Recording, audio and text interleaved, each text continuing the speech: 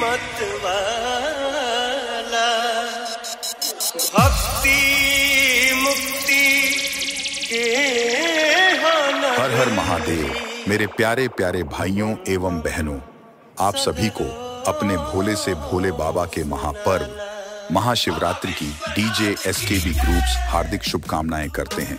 Jai Mahakal.